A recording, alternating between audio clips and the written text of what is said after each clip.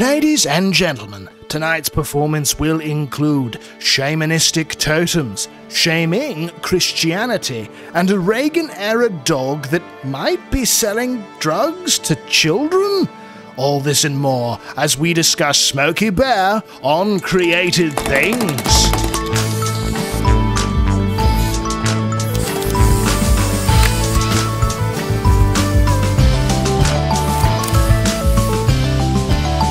Howdy there, campers, and welcome to Created Things, the only arts podcast hosted by two bros who are totally fire, but in kind of a dangerous and problematic way.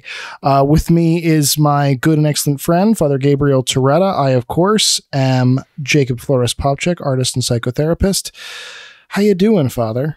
Well, you know, um, I'm not really gonna say flaming uh because i just that's No, you're always flaming. Come on. That's on. just- you're a flaming bear.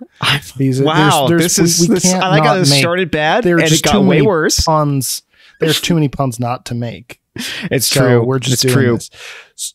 So I'm just gonna jump headlong into this because I'm too excited not to. Um, so Father Gabriel and I, um, we recorded for Fourth of July.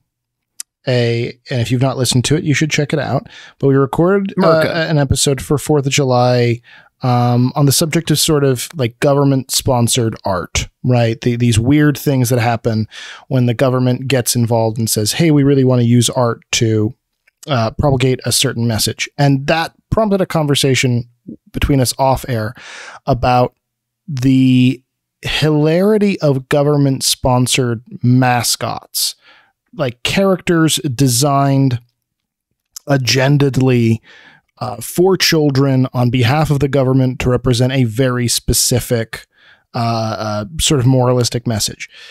Until three minutes ago, we were going to do an episode just about that. We were going to talk about McGruff the crime dog. We were going to talk about Japanese mascots. We're going to talk all kinds of cool stuff. And then we both realized how much we just really wanted to talk about Smokey the Bear. I spent. that, I, like, I was doing actually- like I did like hours of research today on Smokey the Bear because I, which I was not intending to do. I was I was just looking for other mass things to, to talk about with mascots.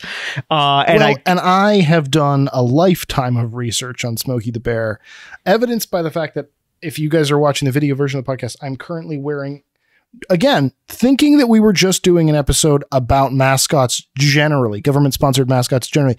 I am wearing this um, Smokey the Bear, officially licensed Smokey the Bear t shirt here sexy. and I am wearing, uh, uh, I'm not wearing, I am drinking out of this officially licensed Smokey the Bear mug featuring the official seal and also the new Smokey the Bear message, which we'll get into. Only you can keep forests green. Ooh, Mhm. hello. So that doesn't I have a future. of tell you that right now. so we uh yeah we did a abrupt last minute pivot and this is now uh this is now a smokey the bear fan account Yeah, to so, it, uh, yeah, so hashtag smoke that bear. Um, it's uh one of the one of the first and surprising thing I learned uh in exploring the wild uh and woolly world that is Smokey the Bear is that his name is not actually Smokey the Bear. My entire life, all yes all I've ever heard in my own head, and then other people refer to him is uh is with the um the honorific definite article, you know? Um Mhm. like winnie if- the pooh yeah like Winnie the Pooh, John the Baptist, Gabriel the sexy, you know, like people say these things um because it's like this is the apex of what it means to be this thing, you know, and I just thought, well, is Smokey the Bear. Uh however, his name turns out to actually just be Smokey Bear. Um yeah just smokey bear just Smokey Bear. Like my whole life is my whole what I'm I'm not saying Jacob my whole life is a lie. I'm just saying my whole life is a lie. That's what I'm saying. That's what I'm saying. Although it's not completely false because there have been even like um Smokey Bear as I'm trying this out for the first time. Uh Smokey Bear is a tightly controlled uh, brand with tightly controlled uh, uh, targeting slogans and and uh, and all the rest, which is great. Um, but even he has had slips uh, in his long history, and um, one of these slips is that uh, in 1966 there was a feature film made about him um, as one do, um, when when one makes a mascot that is so insanely successful that you can actually make it have its own prime time like aired t- movie, you know you've really made it. And they called that the Ballad of Smokey the Bear, which is a whole different yes, thing. well, this is where the confusion happens, is because Smokey very early on in his history gets a theme song that actually did make it to like the top 10 of the charts um, when it came out in like the 40s or 50s or whenever the hell. And and they, in order to kind of keep the meter, say Smokey the Bear. And this was the ballad of Smokey the Bear. That's the song. oh, Um, this is why. This is oh and so this is the confusion. His name is Smokey Bear, but the song needed to be the, The because Bear. they just it just instead flowed being better. Yeah. Smokey Bear, which they could have done too if Mhm. they had the courage. Um, um, or Smokey the B the BR, which if they had had more courage. Um, or if they had just spoken in Japanese, you know, Kuma no Smokey, and then we would have really just like solved the whole problem. You know, I feel like. Um, anyway, I feel like we would just solve a lot of problems. We would just like randomly slipped into speaking Japanese. But uh, let's talk about let's talk about Smokey Bear. Where do you want to start? I would like to very much. Um, well, I want to. I so His wild origin maybe story? No, I asked you. You tell me what the you want. wild origin story would be great. His his insanely reverent tomb would be great. Um, maybe we should just talk. uh, So again, I mean, I sort of until three minutes ago, Thar, five minutes ago now, thought that we were going to do a government sponsored mascot thing. So maybe it makes the most sense to kind of go in via the intro of just why anyone would want to do this and why anyone would say, hey, like, we need to target political activism at children by way of a cartoon character. Because that in and of itself is like kind of a bizarre idea, right? And I know that we're not going to do the full mascot thing now, but like, kids famously can't vote. Kids famously can't do a lot to actually prevent, in Smokey's case, forest fires. They can't even like, buy the alcohol research- or the cigarettes that are the primary together the primary cause of forest fires. Well, per the alcohol and cigarettes thing, I mean, you know, McGruff the crime dog, Smokey's angry fascist cousin, is like literally built a career off of just telling like very, very young children, someday you'll be old enough to get high on crack. When that happens, don't. Don't like just the idea of inventing a character to aim a very not child appropriate thing at children is kind of just a fascinating thing right from the very beginning. Yeah, it is. It is a trip, and I think part of what's wild about okay, because there are these species, right? Because like McGruff, the crime-fighting dog, um, was obviously designed, um, to get young kids interested in experimenting with drugs. Um, or I should say, this is what happened. Like literally, Right. like there's, it's incredible. There's so much data on like the Dare program, and it turned out like this is literally what happened. Is that like it just educated like sheltered eight year olds like me uh to like did you know there's these crazy substances that will get you so wild and high and it's real bad though kids Yeah, don't do they're it. so bad they will get you do so high that if Man, you ever do it you're gonna want on on any street in America. You could go to like right now, you could go to 51st and Cherry and you could talk to a guy named Rufus and he would s- sell you that sweet gaju gaju and it will make your head explode. so bad and all you have to do is say Richie sent you. Uh, but don't do it, but that. don't do so bad and like you might be a you might be like a sheltered eight year old from spokane washington and so you probably think that the only word for drugs is like marijuana but let me tell you there's other words like bath salts and pudding pops and okay, I don't know what else. anyway, uh, yeah. So it turns out that McGruff, the crime fighting dog, uh, was legitimately targeted at children and legitimately got them hooked on crack. Um, which is like, what are you gonna do? The funny thing about Smokey is that he's not exactly targeted at children. Um, he's part of the like broad scope of mascots or anthropomorphic um totem. I mean, this he's I don't want to put it this way. He's basically a totem. He's an American totem. You know, like he's God, you're right. He is literally like a totemic god. yeah, like he's like Smokey the god. Bear. He's not. He's not actually a mascot, and it, that could. It depends how you define mascot. Wait. I am now completely hoarse because I was imagining when you said Spokane, Washington, for some reason, I had an image of a child version of you, but still with your full beard. oh yeah, Just watching like a PSA about crack and going, oh, I should maybe do that. And the- just the image of like a fully bearded child made me la- made me choke on my tea that I'm drinking out of my official licensed Smokey Bear mug, and now I'm wrecked for the rest of this episode. but it's gonna But be. yeah, shit, very. you're right. Like anthropologically, Smokey Bear is He's a like if you're just looking at it, yeah. sort of in terms of world spirituality and anthropology and things, he's a totemic like like animal spirit guide Yeah. kind of a creature. Yeah. Like like shamanistic Yeah. Creature. Yeah. He totally I is. love this. He totally is. It's amazing.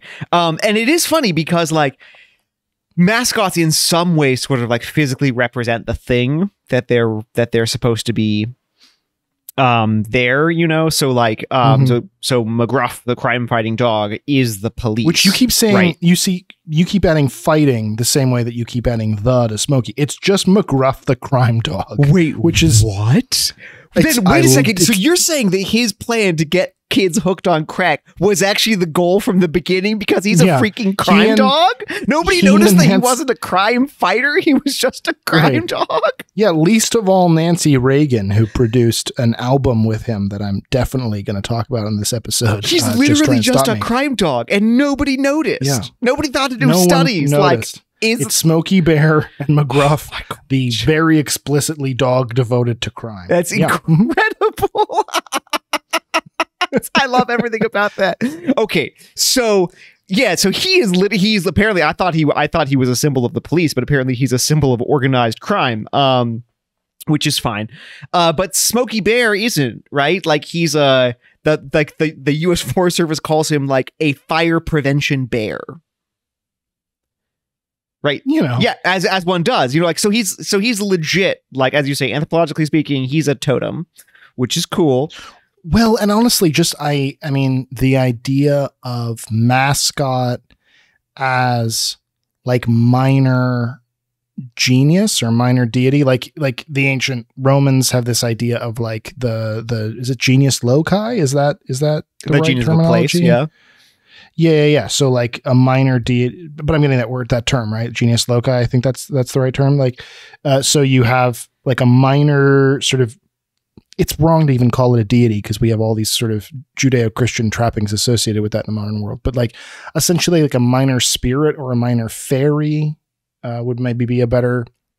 But but basically, they're they're a a uh, a spirit world creature that embodies and ultimately protects and bestows the given thing. So you'll have one for the crossroads, you'll have one for the town, you'll have one for the for the kitchen, right? And I I never kind of thought of mascots, even sports mascots and things like this as a as sort of a, a an anthropological continuation of that idea just through sort of the the lens of capitalism rather than religion but like that is actually what we're talking about here Yeah, which I- yeah. I, think that's, that's I think that's fair. There's um like the Japanese have an have an idea of uh like like kami, these um spirits that like adhere in in uh things and places, especially natural things. Um uh, you know trees, especially big beautiful trees or um stones, these kinds of things. Um uh and they uh they can work to more powerful ones can work to protect the places where they are and these kinds of things and others just are sort of there or whatever.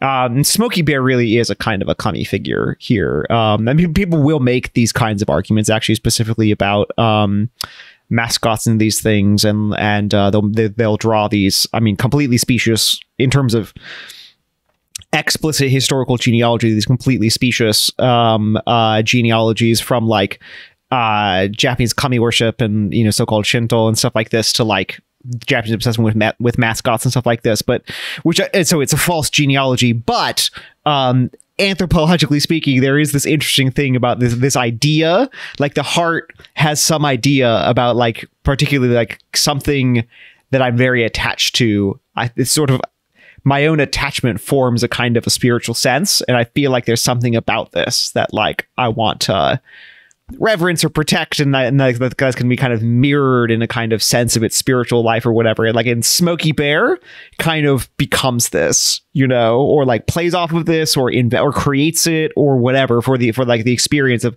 particularly American wilderness which like again America's love of the wilderness is not an ancient idea. It's kind of a 19th century late late 19th century idea um of like yeah, loving as America was sort of you say again because you referenced it in an episode like three episodes ago but for us that feels like like five minutes ago in conversation. But yeah like america was sort of trying to reverse engineer hey what is our cultural identity outside of just european trappings? And one of the things they really really attached themselves to especially kind of like post Jeffersonian writings and stuff like this was the idea of the megafauna and and you know the wilderness and all this sort of thing. So this was this was like a reverse engineered American cultural identity.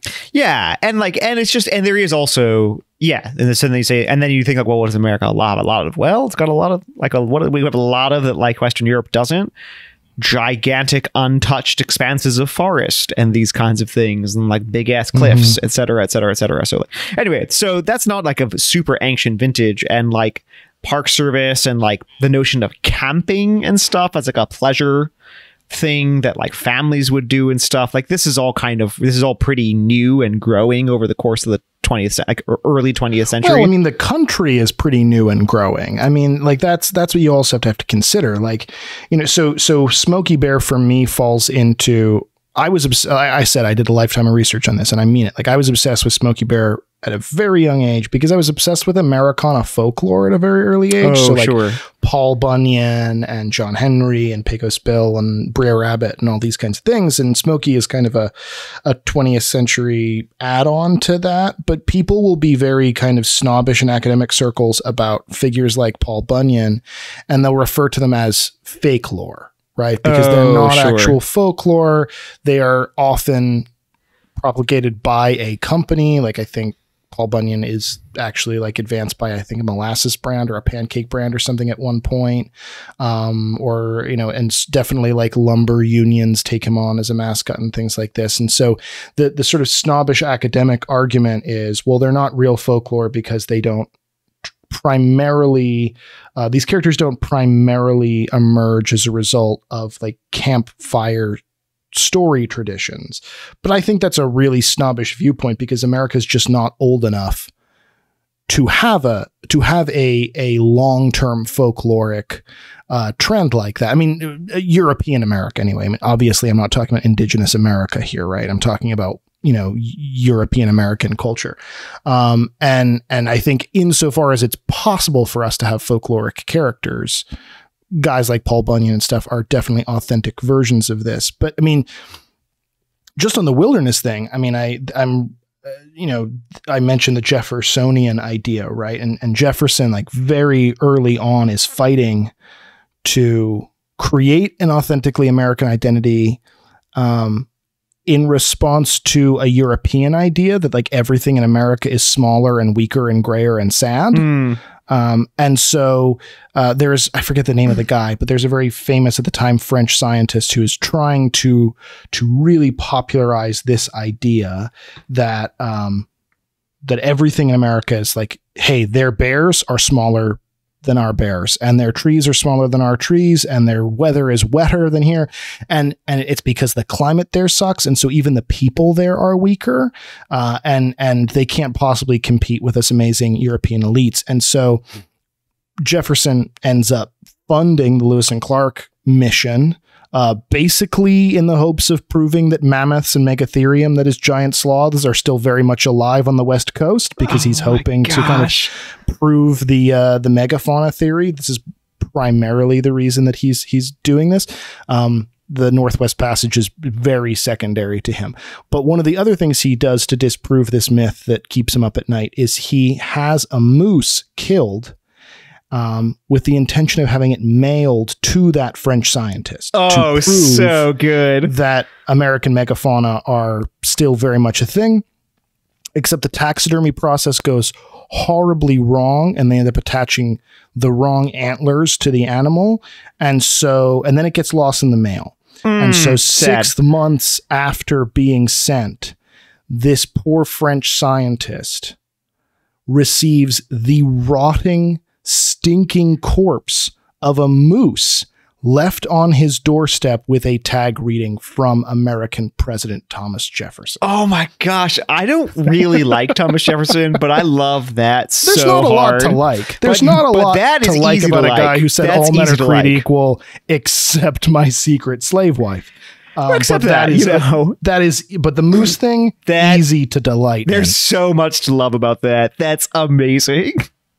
Right. And so, I mean, you know, you're right that, I mean, you're right in a sense, I think, that the sort of wilderness aesthetic of America um, is a, is a newer one, but I would argue that's mostly because America is a newer place. I mean, many of the guys who found the country are are really trying to push this as a fundamental characteristic of our identity pretty early on. I mean, I think it was John Quincy Adams who said the art of making love in the cold on a bed of furs is a distinctively Yankee invention. Um, Oh, like this well, I guess is I can't like a thing that. he Yeah. wrote, right? So, so like these guys are are very much trying to brand America as this, and I think Smokey Bear, to make a very short story long, Smokey Bear is a direct totemic outcome of this American love affair, however self created it might be, On a with our unique idea of what wilderness is. on its bed of furs. Right. Yeah.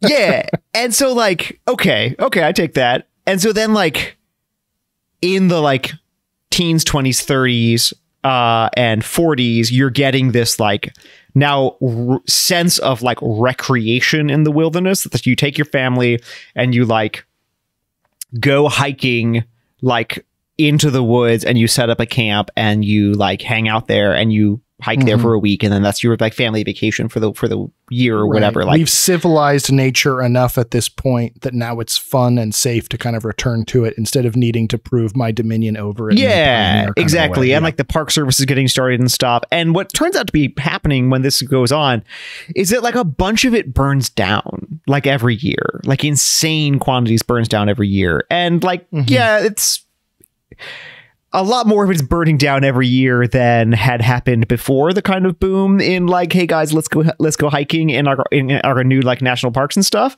Um uh so it seems reasonable to say that like yeah, these are these are like man-made forest fires, you know, from like Yes. preventable things like whatever um uh throwing away matches and then things like that. Um so okay, and also, right, um now we're gonna now we're, jumping into like the early mid 40s and it's also in the middle of World War II.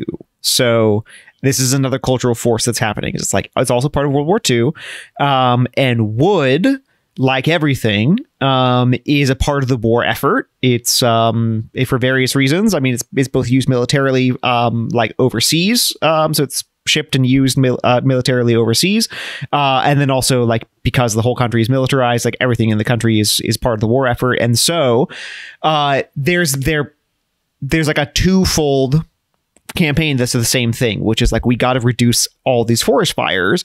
Um, partly just because like also we could like now we have this new love of the forest as like protected wilderness and so we don't want to burn it down by like I'm guys I'm so glad that you want to hike now that's so cool could you burn down a little bit less of it? That would be really really great. So that's one which is cool. But then the other is also this is a part of a war effort and so like be patriotic um and like uh don't burn down the forest because like Uncle Sam needs that wood to like kill the Germans and like uh you know take care of the Japanese. Yeah. yeah, yeah, yeah, yeah. No, but I mean, but there are, but there are a ton of like 1941, 1942, 1943, um, uh, government sponsored advertisements that are exactly this. So it'll be like a like a haunted looking man, sort of like um digging in the forest uh, that's all ablaze around him, and it says like you know like support the country, fight forest fires, you know, and it's like it's all of this about how this is part of the war effort, you know. Um, so in like by 1944 um other forces try to get involved and one of them is actually your boy disney Yeah. A a uh, a patriot to a fault, let's say. yeah so he so he um he submits um for free-ish question mark um a a campaign like a poster campaign that gets used uh and is actually quite popular um that shows bambi and some Mhm. friends right and it says please mister don't be careless you know because it's like don't be careless. I like the voice. I like the voice. I also like this is a weird uh, dynamic shift, but I, I like you saying he did it for free. Uh, normally, where, where that is a nice way, uh, listeners, uh, gentle listener. That's a nice way of saying he did in exchange for not sending the animators he liked to the battlefront. to yes exactly uh that's that's All too happy to send the animators who tried to unionize against him to the battlefront. they actively provided a list of names of people who were trying to unionize as communist sympathizers who should definitely be sent to the front of the battle, like King David sending the wife of Bathsheba. But uh, I think but that the ones ended well liked- though, right? Like that was good in the Bible. Like that was a good thing. Yeah, God wasn't upset about it. Not at all. Yeah, he was like, Um, "Bro, thanks right. for you know doing some work for me. I appreciate that." Yeah, Yeah, that's yeah. no, So, so definitely in sort of a modern Americana way, free. Walt Disney says the animators I like should definitely stay here and draw Bambi for the government. Yeah, exactly. So they so they do, and the campaign like goes pretty well. Except the problem is that like a kids, and this is what I the, the thing with Smokey Bear is like kids really liked the Bambi thing, the like please Mister don't be careless. Um, adults hated it because if you look at it. I mean, just like picture in your mind Bambi, it looks exactly like Bambi because it was drawn by those exact same people or the ones who didn't get murdered uh, by being sent uh, to die in Western Europe. Um, and uh, uh, it's drawn by those people. It looks exactly like that. Please, Mr. Don't be careless. If you're an adult and you're looking at that, it kind of suggests visually like America is a very small prey animal about to be casually murdered. This is this is okay. So this is actually a fascinating thing about mascots, right? And and especially about American mascots, where so America's whole brand, and this is definitely invented, and I think we are increasingly culturally becoming aware of the fact that this is invented and by no means organic or real. But from the very beginning of the American identity was this idea of we are the underdog right? We want to always believe that we're the underdog and we want to always support the underdog. Even if we are absolutely not the underdog, we need to come up with some sort of backwards logic as to why we are in order to justify our doing this terrible thing that we want to do. I mean, this is like the fundamental highest virtue of the American identity is being an underdog. And you can totally still see it in social, you know, politics and culture wars now. And it goes all the way back to the, the origins. But the problem with being the underdog is it does actually contrast in a not entirely delightful way with the other distinctively American desire, which is to be seen as uh, manly, let's say, in sort of a, a toxic kind of neoclassical sense, right? And so Um, you see this a lot um, in the in in the same period with uh, Marvel and DC superheroes. This Hmm. is this is why Batman continues to be at that time and now a bigger sell than Superman. You can't you can sell Superman as all powerful and all American, but he's very very hard to sell as an underdog because he is all Mhm. powerful Yeah, yeah, right? yeah. But you can sell Batman, you can sell Spider Man, right? These guys are powerful, but not powerful enough to not be the underdog. Bambi is the underdog, but he is definitely not powerful enough. So he makes me feel too weak. And so we need to find something who can function as the underdog, but also makes me feel manly. And that's a difficult niche to hit. it's a real niche and so like uh so this like uh it's government sponsored although um this part of the story is probably too long to tell but it's very complexly uh, bound up with the way in which um in brief uh the the the Great Depression completely shatters the at that point still quite new advertising industry um, and uh, the very little bit of credibility that advertising had managed to build up um, is completely obliterated by the Great Depression.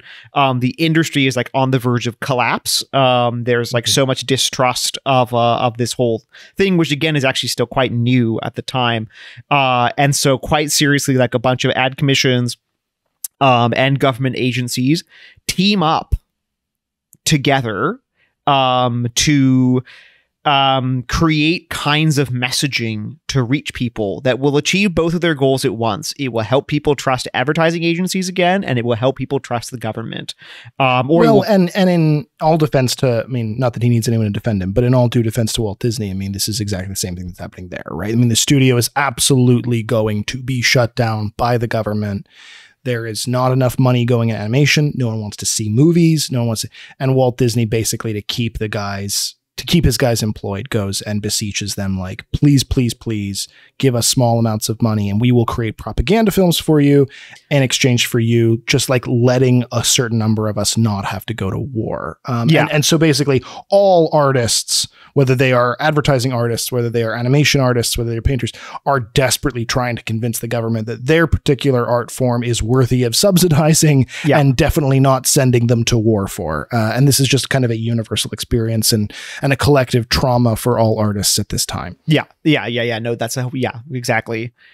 So out of this emerges um on August 9th, 1944, Smokey Bear. Smokey the Bear. Smokey And I want to get into why Smokey was so successful, but uh, we are talking about underdogs. We are talking about supporting the little artist lest he have to go to war. And that is a perfect segue into uh, this brief shout out to our sponsor. Uh, Catholic Creatives and Catholic.store. Uh, for its part, Catholic Creatives is an organization that seeks to unite uh, artists and makers and artisans and all that good stuff from across kind of the faith community uh, for major events and and uh, you know summits and um, different kind of support. Uh, enrichment uh, activities, initiatives. Uh, and to do that, they actually need your support. Quite frankly, Father Gabriel and I need your support to continue doing this podcast. Uh, and so, to support those initiatives, initiatives like this show and, and, and like the others I've mentioned, uh, we would ask you to consider visiting um, and supporting our Patreon via CatholicCreatives.org forward slash support. Uh, and if you want to go the extra mile to support those little artists so that they don't have to, to go off and kill the Kaiser, uh, do consider stopping by um, Catholic.store, not catholicstore.com or any of that crap catholic.store uh, where you can give uh, money directly to to little local artisans uh, doing their part to make the world a more beautiful place so check out uh, so oh i'm gonna i'm gonna do this in the style of an american uh, propaganda psa to, to do your part and be a patriot, go to Catholic Creatives forward slash support and Catholic.store today. Today. So, yeah. So, Smokey the Bear is invented by an advertising company, except kind of also God then gets involved Yeah. because the character happens but isn't really taken off. He's just another character. And there's no built in brand recognition the way there is for Bambi. So why would everybody love this character? Meanwhile, in my wife's home state of New Mexico, uh, one of these forest fires that you mentioned breaks out and leaves a little black bear cub orphaned. Um, he climbs a Mm. tree and his little Mm. paws are pretty badly burned. And a U.S. airman stationed there, I believe it's an airman. I think, uh, yeah, because I, I I have a very distinct memory of seeing um seeing like Air Force planes uh in association with Smokey. And they this US airman um finds Smokey, rescues him and takes him as sort of a platoon mascot and feeds him and nurses him back to health. And the office that creates Smokey goes, Holy shit, holy shit, holy shit. This is perfect. We have a Please, please, literal please. Smokey Bear. Yeah. name him Smokey. We now have a real or we they didn't have an origin story for the character. He was just a bear who wore a ranger hat and told people not to And light pants. forest fires. Importantly, And pants. well, sometimes. Um, and uh, you know, the, he's telling people to not light forest fires, but now he's got this tragic origin story. And they uh and they agree and oh my god, the photos like we'll we'll we'll put some in this episode for those of you watching the video version. They'll they'll be kind of phasing by right now. Um, but if you're not listening to or watching the video version of this podcast, do yourself a favor and look up photos of this bear. It's the cutest thing in the world. I mean, bar none, totally sincerely, so so freaking cute. And if you go to the Smokey Bear Museum, as I have in New Mexico. Um, I made a pilgrimage. I drove three and a half hours literally just to go there and then turn around and go back. Um, but there's more to do there. I didn't realize until I got there. Uh, like three doors down is where Billy the Kid was assassinated. So there's a whole By cowboy Smokey the town Bear? and stuff.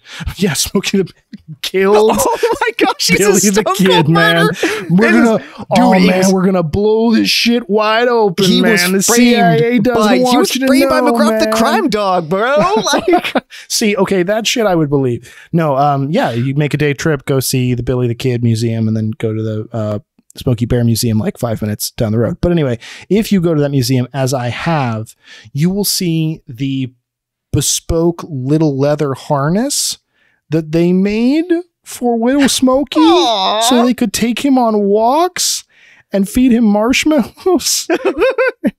and it's so freaking cute. I mean, truly, like, I'm not kidding. It's adorable. And it's a national treasure in and of itself.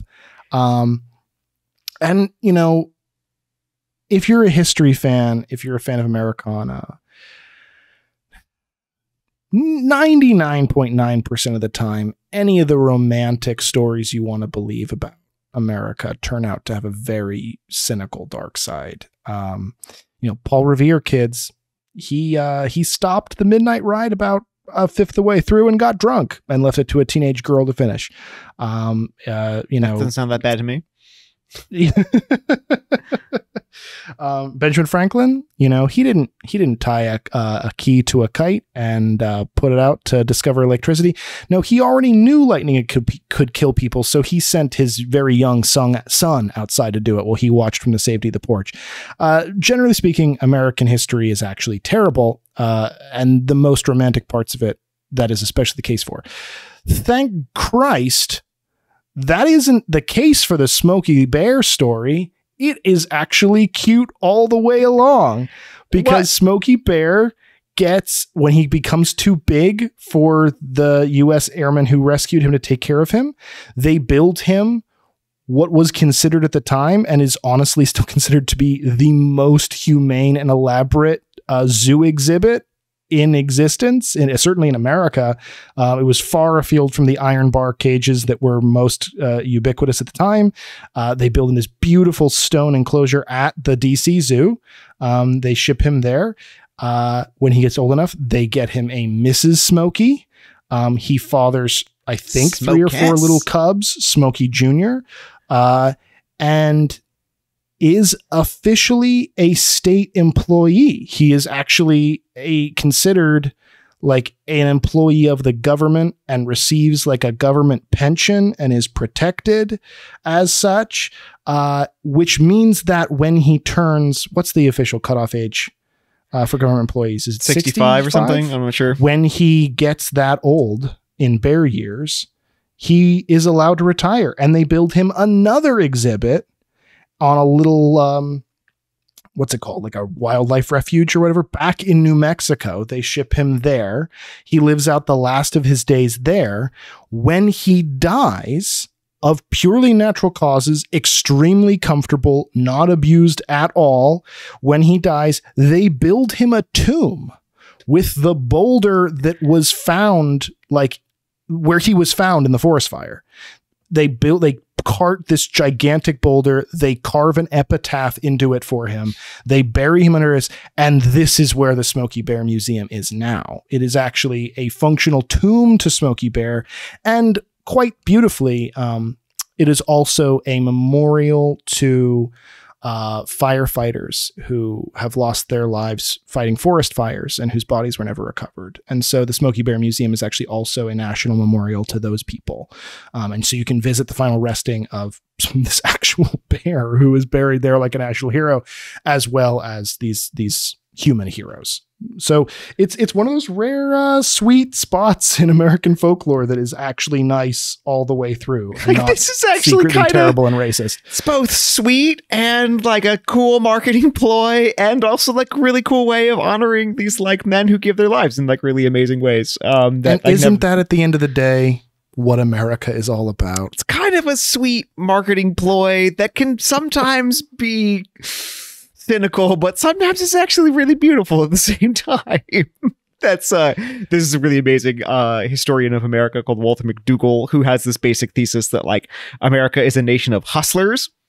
Uh, oh, totally. And, yeah. And he uses the he uses the term um uh neutrally, morally neutrally, you could say, just like, oh, just hustlers just just mm-hmm. nation of hustlers, you know. And this is this is like hustling Smokey Smokey Bear, like nobody's business, you know. Um, well, it's this phenomenon that you and I keep finding ways to organically come to in this podcast, which is this I this phenomenon of velveteen rabbiting, right? Where where you know we've talked about it in a lot of different contexts, where an art form pretends to be something and then over time by being loved enough actually becomes that so again you know examples include in our christmas kitsch episode we talked about the generic mass produced baby's first ornament uh, you know or baby's first christmas ornament you know which is absolutely nothing special uh, but sort of pretends to be kind of an important art thing becomes this extremely sacred totem within a family's life cycle because it represents their particular unique baby. We've talked about towns that do this, right? That that you know honestly, to go to to New Mexico again, where you know the birthplace of Smokey, uh, Santa Fe, you know, is this beautiful, beautiful town that ostensibly looks to be this very ancient, you know, amalgamation of European, indigenous, and Mexican architectures. Uh, only it wasn't. It was absolutely invented wholesale or wholesale from whole cloth uh, by people who wanted it to look that way, but has since subsequently become this very, very beautiful um, culture. It's become exactly what it portends to be, right? And and Smokey is kind of one of the more sincere versions of that too, right? Where sometimes the hustler or the hustle hustles so well that it becomes real. And and maybe the most profound version of that is we invent a character and then the real bear actually uh, uh, incarnates, as it were, wow. and we we uh, you know we build a, a totem and a, and a shamanistic uh, genius loci um, out of him. And it's amazing within that because, like, as I mean, with all of that, the animated drawn Smokey never stops being Smokey, right? So they never right. there's in the end you get these kind of two tracks because like if you can visit the National Zoo or if you're around, you know, um, New Mexico when he's in New Mexico, you can see like, oh, this is Smokey the Bear. But at the same time, everyone actually knows that Smokey Bear is the drawing. You know, Smokey Bear is the anthropomorphic creature with the ranger hat and the dungarees that says like um only you can prevent forest fires. Um, right which is the sort of dissonance of childhood magic right? Because i mean mall Santa does not look anything like what most kids imagine Santa Claus to look like, but we uh, ascribe the same affection to both as as being one single human. Um, Mickey Mouse, you know, to go back to our good uh, Davidic pal Walt Disney, right? I mean, like the mascot costume you meet as you and I recently met at Walt Disney World looks very little like any version of the cartoon character, um, but they are the same. Yeah, you know, any, any kid who meets it. them, it's like, no, no, they're that's Mickey. It's just Mickey in three dimensions looks like this, and Mickey on my TV looks like this, and they're the same person. Um, and if that's not, I mean, if that's not a shamanistic totem, I don't know what is, right? Because it's it's a creature that can essentially change forms, but is uh, is nevertheless the same central being at its core. We're sort of reverse engineering Neil Gaiman's American Gods in this episode, aren't we? Uh, yeah, maybe possibly so. Yeah, maybe maybe maybe we kind of. I just realized what we were doing. so listen, it happens that way. But um, but there there is so one aspect of the whole Smokey Bear story is pre- precisely um, the frankly unexpected way in which um, the real Smokey is the Smokey who lives in our hearts. You know, this It's is the uh, friends we made along the way. Yeah. it's the real Smokey is the friend that we made along the way. Uh because like this is not the horizon of success that was originally planned, right? The horizon of success originally planned is like um work ad agencies and the government working together to like um w- get uh, kind of unite the American people in the in the kind of Great War effort, cultural project uh, kind of thing. Um, like the sort of New Deal America that's kind of that's kind of coming into into invention um, and everything everything with all of that um, and like what's going to come after that who knows but with this interesting character and like the physical characteristics of Smokey that get settled pretty quickly on um is anthropomorphic character like the it's a it's a modified bear body um like he's I mean, it, it is an interesting thing if you look at like sort of decade by decade or even like five years by five years because there ends up being a bunch of different Smokey designs. Um, uh, his amount of obvious buffness and then dad bodness changes. Like it, it, it sort of keeps fluctuating. So like some representations Yeah. of Smokey, he's got a, he's got a, um, uh, a sizable like pot belly um and he'll have strong bear arms but like bears are kind of fun because they're like adorably fat kind of you know um so sometimes you'll have this kind of like pot belly and look like this sort of like buff dad bod guy other times he just looks kind of like jacked um like Right. And and the most of the three-dimensional versions um including the the so so Smokey receives more fan mail than any celebrity of his time. yeah right? bro Uh, smokey the- has the- his own zip code Right. Smokey has his own zip code and receives like a couple thousand letters a month to the National Zoo, which is why they have to make the zip code for him because they cannot handle the glut of fan mail that he gets. And so they start creating these really terrifying looking, Smokey shaped mailboxes that you can put the letters in. Um, and uh, and in, in those, and then in also all dimensional depictions of Smokey, he is always both pot bellied and insanely jacked. Yeah. Uh, is this, I don't know, is this where the gay term bear comes from? Uh, for a hairy, jacked guy with a huge gut? Could be. I don't know. I'll just leave that to the listener to sort of maybe consider.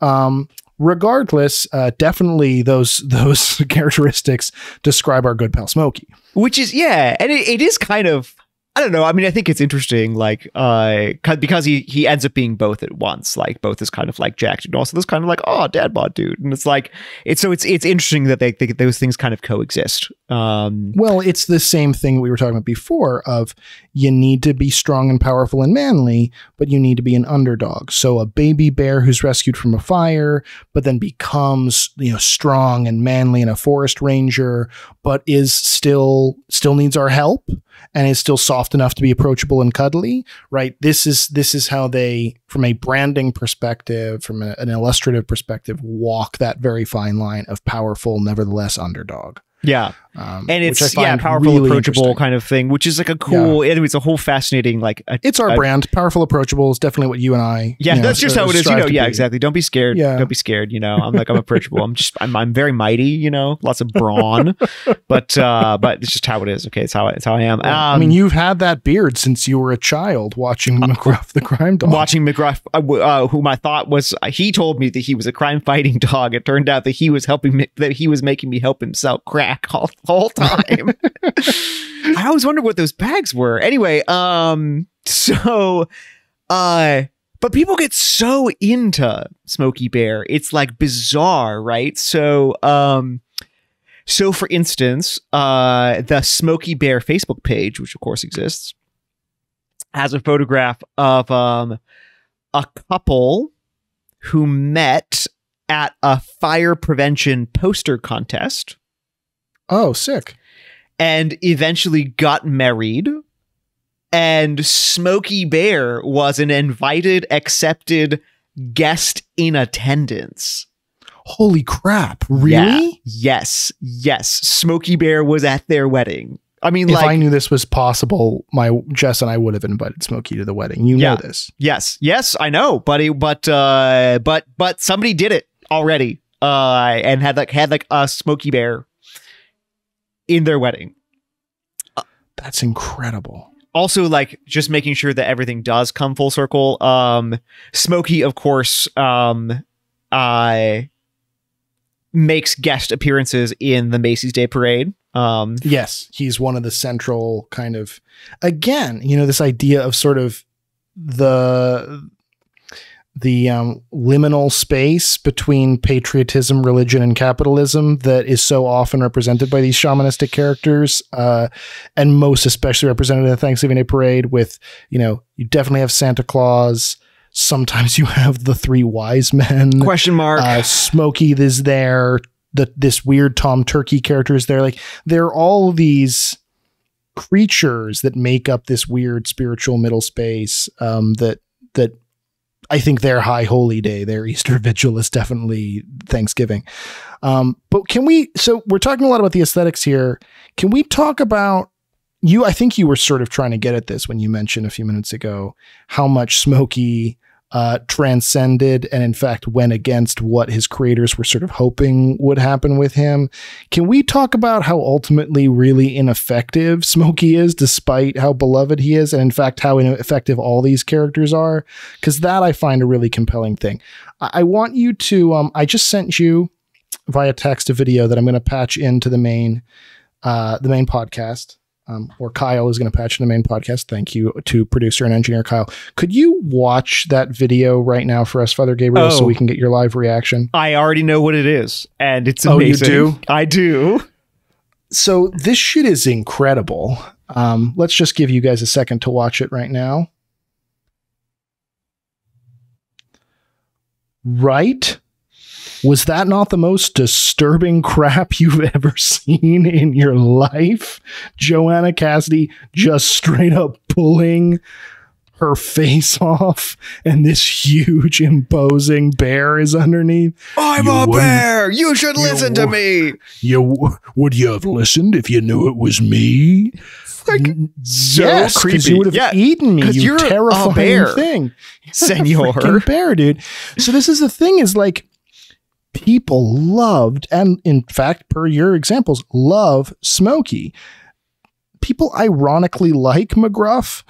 people don't really love McGruff, but what Smokey and McGruff have in common is that they represented a very particular perspective on a social problem and and took on the best of that perspective mainly in both characters their idealism the idealism of kind of the DARE approach to battling drugs in this country the idealism of post-war you know let's return to nature ism um, but they also brought with them the the downfalls of those respective worldviews. Um, as you already said McGruff in any place where DARE happened um, and again McGruff and DARE are not fundamentally connected but they are spiritually connected any place where where DARE happened drugs you know statistically went out the wazoo i mean they're just just off the Richter scale levels. Um,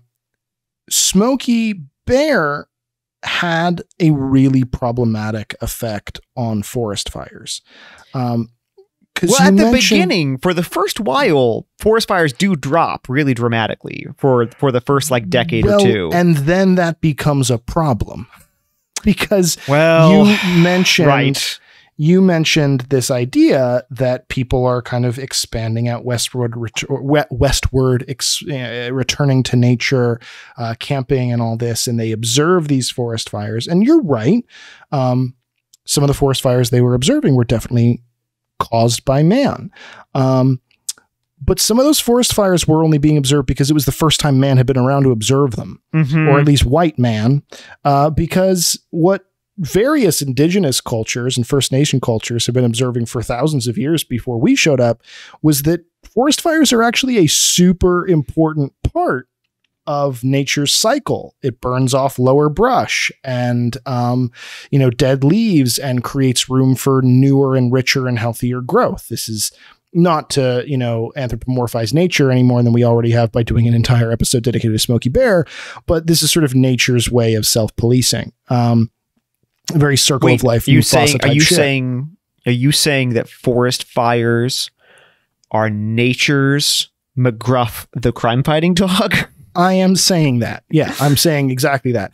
And the problem that arises is that people do such a good job of preventing forest fires that the forest fires that do happen are become catastrophic. preposterously worse. Yes, Yeah. catastrophic. Yeah. And this is still a problem we're seeing in California today. Um, you know, and, and along the West Coast, where a lot of those more antiquated ideas of what it means to be eco-friendly still kind of have a, a chokehold.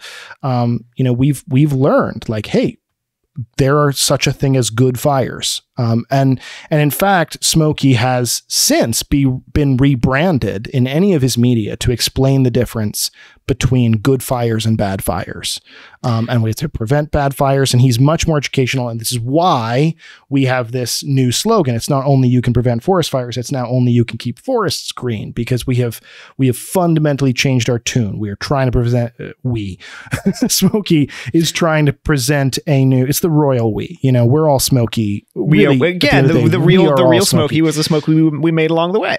Right. Yeah. And and um, you know, changing kind of the tune to be a much more nuanced view of forest fires. But people get in on this message so hard that it does end up directly contributing to some of the more devastating forest fires that we've seen as a nation. Yeah. Um, in just the same way that drug education from guys like McGruff didn't actually help. It it just made kids a lot smarter in terms of finding where the drugs were in their local area and their zip code. You know, so that's also kind of a fascinating thing. Is like sometimes a campaign like this can be too effective and can very much pinpoint what the problem was in your worldview before you were ever conscious of it. Yeah, like because the problem is, uh, like Smokey. Smokey has worked. I mean, he's. I mean, Smokey is a like he's an advertising and de- design phenomenon because um he has been around now for like almost eighty years. Still, like beloved, he survived the horrifying and predictable late '90s swing into cheap government sponsored computer animation. and if he could if he could survive his horrifying 5 years of compu- of, compu- of like weird scary computer animation um and still like emerge from it alive um it seems like he's still going you know? He has worked so to speak um been popular been grabbed onto been like i- an effective messenger when and i mean literally the only thing he says is variations on only you can prevent forest fires.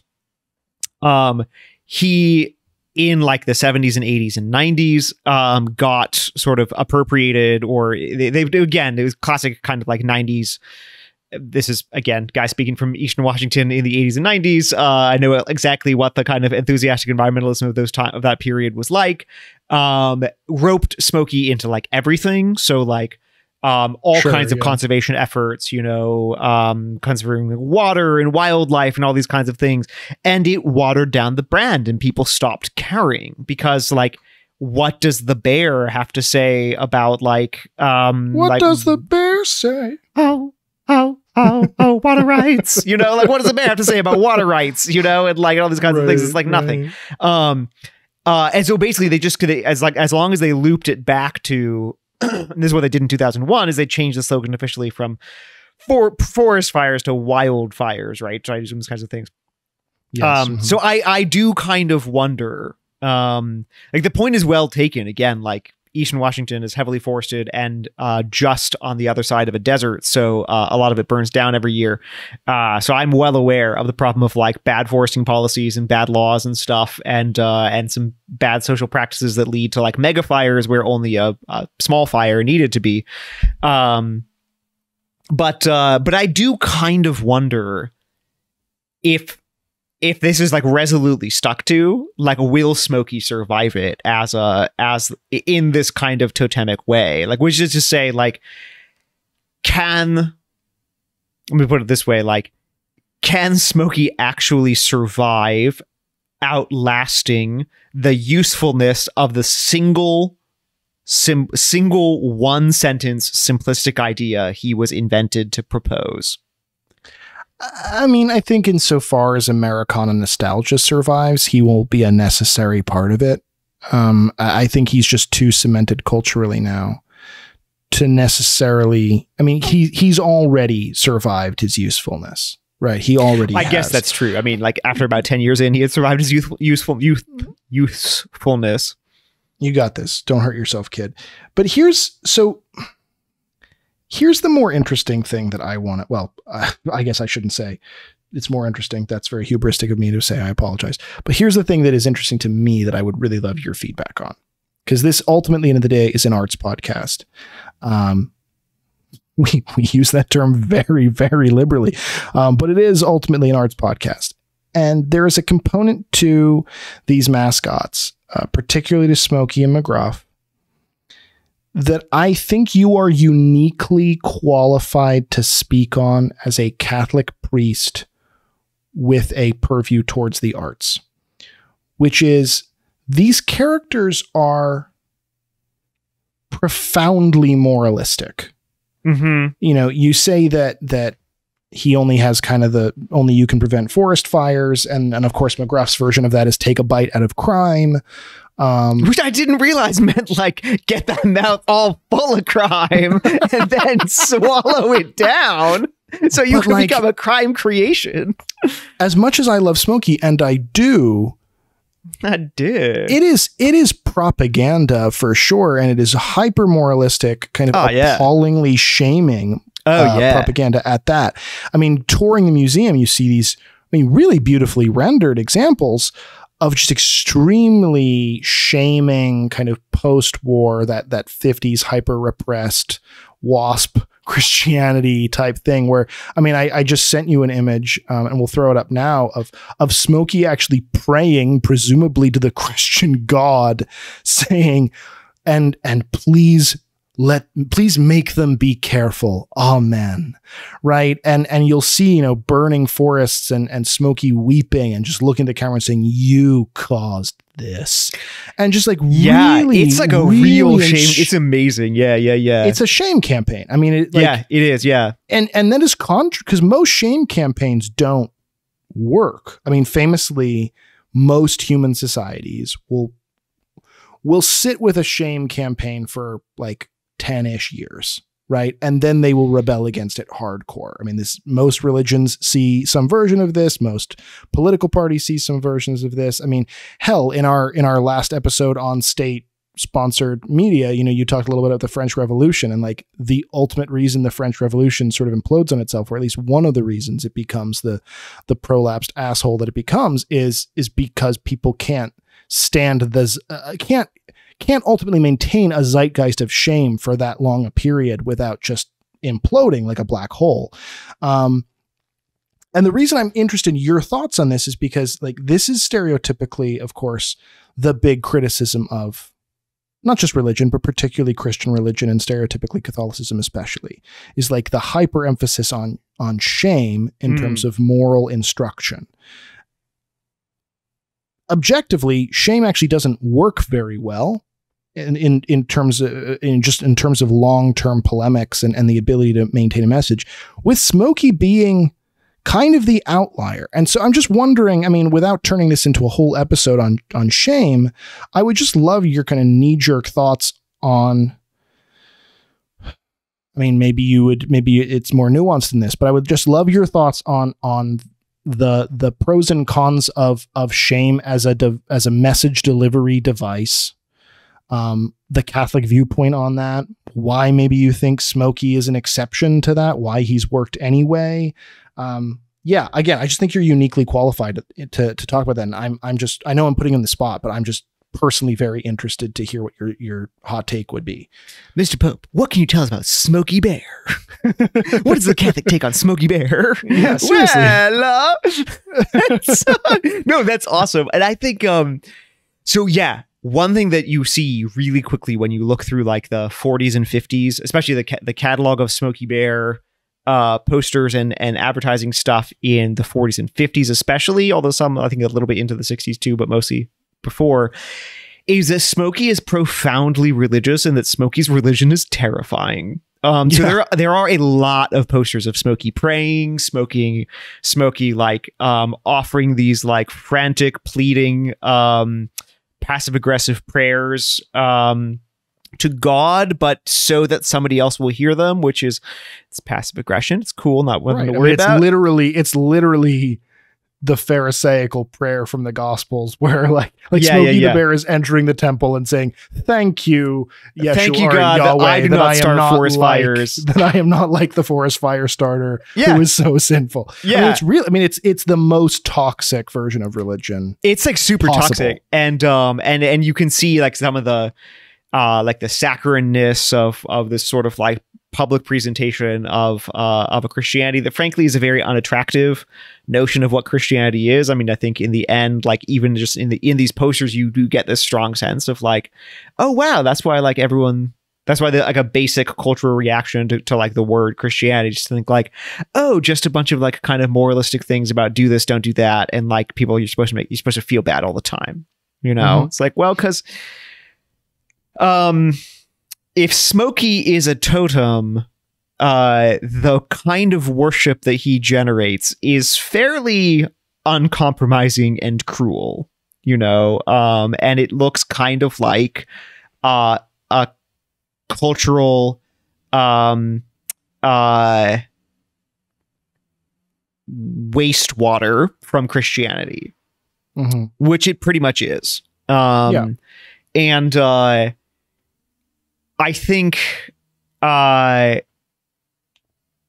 I mean, I think you see it shifting, right? Like, I, I, I, you- I think you see the reason like this doesn't this doesn't really work, right? As it just simply from a like a marketing branding perspective, like already by like the '80s and stuff, you're seeing him switching more into like fear based campaigns rather than shame.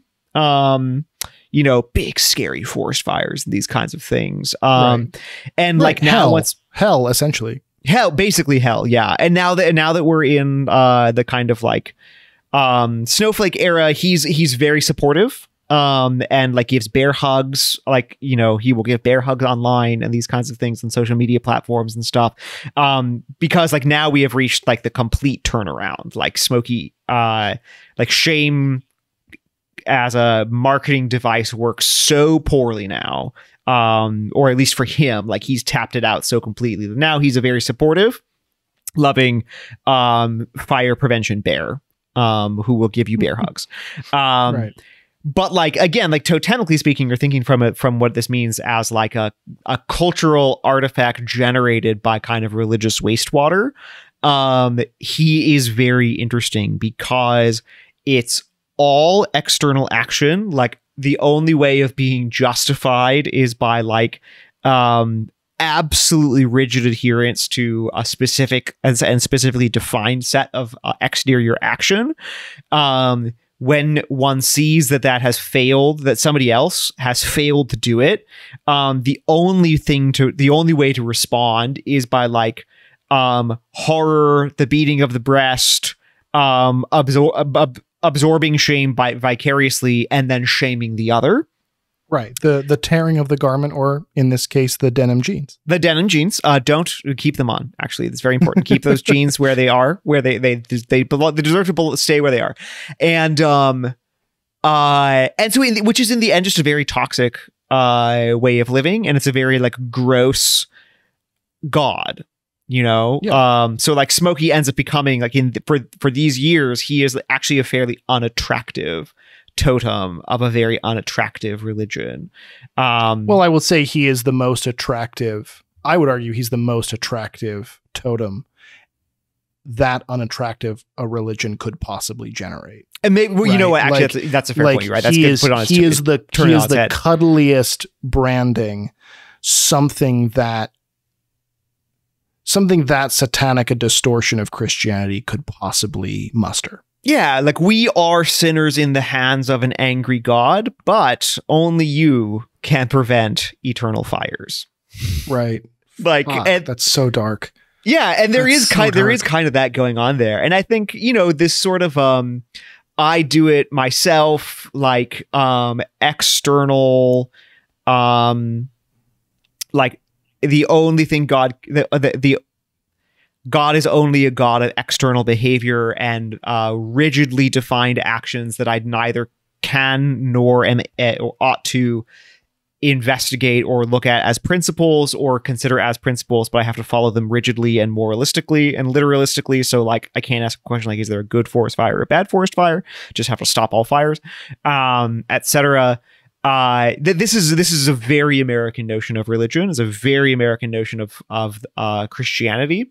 Um and i think it's a temptation that sort of like pulls um like a uh uh like a rip tide uh at the heart of like uh the american like religious experience. Like we just want this so badly and we don't want it to suck us out into the sea of like horrifying nightmare zone where it brings us but we want it so badly and it's kind of constantly ripping um at our feet when we splash into the ocean and so like uh so as you say like uh a kind of fun 1940s post-war like in mid-war and then post-war um totemic version of of the wastewater version of this is Smokey bear um but yet- like Oh, go ahead. Sorry. you know but in the end this is an untenable notion isn't like an untenable god um and so like even in even in the totemic version that has to uh, be abandoned and shifted.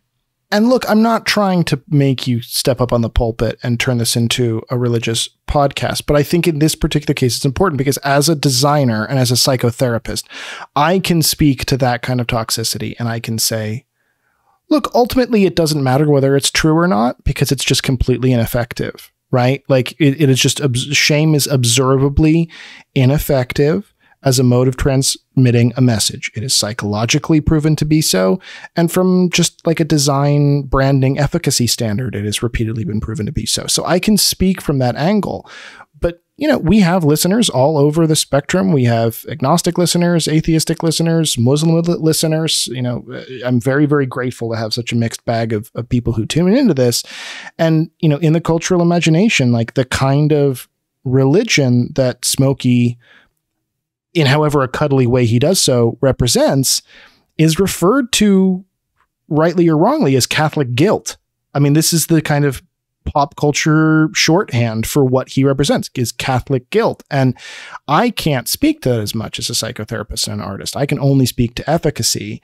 You as a priest, you know, you're establishing, hey, old Smokey was we are in the hands of a vengeful God. New Smokey is uh, still only you can prevent forest fires, but I'm just going to kind of cuddle you and pretend that you don't have any culpability. And that these sort of represent two sides of, of very toxic versions of religion. And I'm, although we don't have hours for you to be able to break it down, I would love to hear just for the sake of the diversity of, of our listeners and even maybe Catholic listeners who who struggle with this themselves and and who maybe are in a process. I mean, as many of our listeners I know are because they've talked to me about them sometimes. You know, in a process of kind of deconstructing the more rigid and toxic uh, versions of faith that they've come from. I, I would love to kind of hear your two cents on like what is the healthy and authentic alternative yeah. to this. Yeah, well, basically, I mean, people will talk about this like shame versus guilt or these kinds of things, and whatever you know, you we can define these words various ways, but like, um, if thinking about um, like shame comes from outside, um, it comes because I've been caught in doing something, um, or at the most that I've been, I have internalized a notion and I've caught myself at it, you know, um, and it can, there's nothing to be done about it it's just there. It's imputed from the outside. Uh, and so like that's just it. Like I am so just the shame person is who shame has- is social and yeah. it's Ultimately, it's social, and it's and because It's it's, imputed, it's just just there. It is like now I'm just the person who wears the A. I'm just the person who has caused a forest fire, and like there's that will just always be the case, and that's just it. It's just always on my breast. There it is. You know. Um, guilt uh, is an internal reality. It's a it's a characteristic of um uh the actual heart, like the the the, the heart considered here now not as like oh I love you so much, you know, but as like um the deep seat of the individualhood, like who I the deep seat of who I am, you know, like um is uh is that like I am actually made for um a life and a life more abundant, you know, like I'm uh and that there are things that I can do that like tear away at that life and actually make me smaller and more cramped and less able to love and less free in my own action and less able to respond to love when I see it um and all these things. Uh and that guilt is the is the like healthy functioning of the heart um that recognizes when I have the presence of those things that says like I have just done something that like makes me less free that like I have developed a habit of something that makes it hard for me to love like X Y or Z you know yeah, like or to I- accept or to accept authentic or to love. accept love or whatever um and guilt is is this healthy reaction of the heart that says that that thing that it recognizes reality says this thing does not belong there and wants to drive it out. Um so it's it's um it's motivated by by an actual recognition of the nature of reality and the way in which I have betrayed it. Um so it's so something true yeah I something has gone wrong here um and like and i have to authentically recognize who is at fault. Um sometimes there's internalizing other people's guilt which is important to recognize. Like i feel bad about this but i think it through. And actually the other person did something wrong and i i didn't in fact. Wow that's a shock you know but that can happen. Or like the other person did something wrong and i wasn't responsible for that. And then it made me feel x y or z way. And then i started to do wrong things as a result of that. And that's my fault you know so like it, Mhm. this is an important identification of like where causality lies and like again we're just looking at reality like who did what you know and who does Right. what you know There's something that's occurring to me too. So, so, so to recap in my own words, I mean, again, so shame is the thing you're describing as toxic here, and it's it's an internalization of mor- morality is only a way to maintain social status. Other people would judge me if they knew, um, and and it's final. So like this defines who I am now. Um, and I can either accept it and say, great, this is who I am now, and kind of become lax morally, or I can um, hate myself and become very judgmental in, in a toxic Christian kind of way and say, and therefore I suck. But either way, there's it's it's internalized toxic social culture and it's there's a finality to it where guilt you're describing as the positive response to that or the or the untwisting of it i guess i would say like the the the store brand versus the off brand of shame where it's saying hey like i did do this wrong thing that that prevented me from from being able to accept the fullness or pre- or present the fullness of love as it was created to be presented. Um but i but it's not final. It doesn't define me. And in fact this feeling calls me on to repair it or accept the grace to repair it or to move forward in some way. Is that a fair summation? yeah that's fair saying? that it's uh it's sort of like the body producing pus when there's an infection it's like oh i don't want to be walking around with a bunch of pus Uh, but if the if the if the if a person's body is such that like it doesn't produce the pus when there's an infection, that's a very dangerous situation actually because of because of the, Oh, yeah. because there's no way of recognizing that there's a very serious infection there. You know, um, and so guilt is kind of like that. It's a marker that says like, hey, we got to we got to do something about this. Um, yeah. and so it's yeah. trans it's it's transformative like it's it's ordered towards transformation i can't ultimately what i need is forgiveness what i need is a restoration of love and i can't usually just do that myself. Like it creates relationship and structures relationship.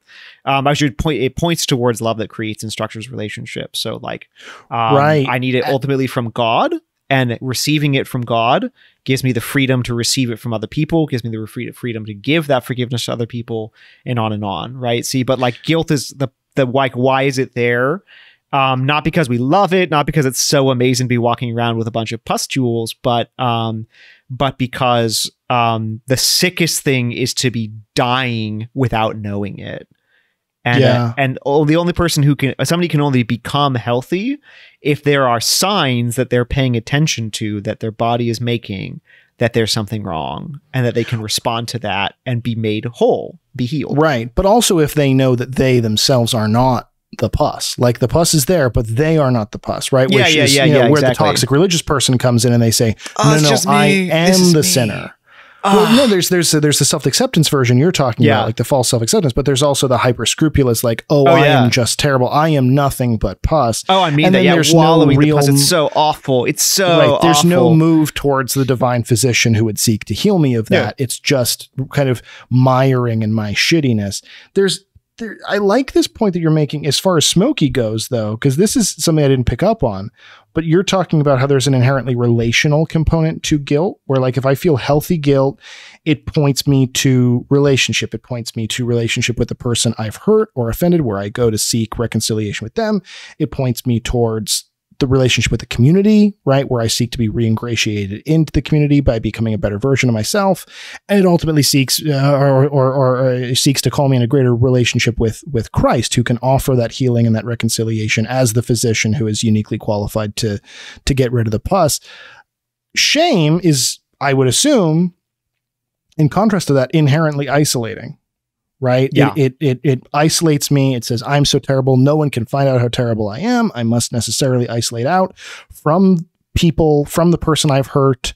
Um, you know, if I like classically, right? If I've cheated on my wife, like I can't tell her because I'm so ashamed. You know, like it's actually making the infection worse by isolating me, and it's also ultimately causing me to to isolate from God, as we see, like you know, Adam and Eve hiding their sin from God as opposed to seeking Him out, or, or Judas, you know, committing suicide rather than face Christ. You know, and and maybe this is too heavy to say, but as you're describing that juxtaposition of like shame versus guilt, isolation versus relationship, isn't it so funny that Smokey the Bear or Smokey Bear as this totem of shameful religion says only you.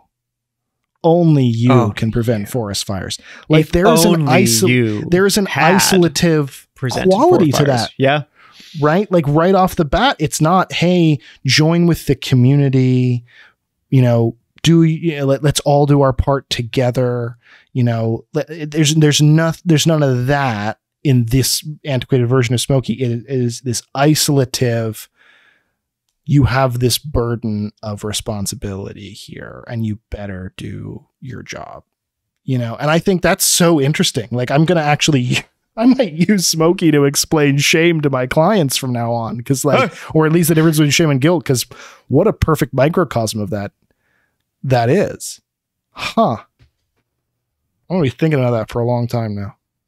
that's why smokey doesn't have friends Other than other than Bambi, you know, other than Right. bambi that's a whole other story. Well, you know, this this to me creates I always like to end these episodes on an artistic prompt, right? And and in my mind this creates a construct for a very interesting artistic prompt. You know, there are many people who listen to this podcast perhaps who are trying to illustrate kids books who are ha, you know, have opportunities to create characters of their own, let's say, whether that's for a movie or an advertising campaign or a children's book or whatever. You have the they're they're facing the opportunity, the potential to create their own their own totemic shamanistic mascot, as it were, their own Smokey. And we've seen how successful that can be. We've also seen how toxic that can be if you're not sure of of your message when you start out. If if you're willing to kind of sell your soul, as it were, to to shame or to blind self acceptance rather than to healthy and relational guilt in the face of you know actual social issue. So maybe this is the the call that you're looking for to kind of put some guidelines on yourself to make sure that you're presenting that healthy positive character um, that isn't falling into some of the more toxic elements that Smokey and his even less fortunate brother McGruff have historically fallen into. But whatever you're making, whatever you're designing, even if it's just your own life, uh, we wish blessings upon you uh, because only you can go forth and create cool things. You've been listening to Created Things, a podcast of Catholic creatives, hosted by Father Gabriel Torretta OP and Jacob Flores Popcak, produced by Jessica Flores Popcak and Kyle Meineke. To find out more about how you can support the podcast and other ventures for artists, visit catholiccreatives.org forward slash support.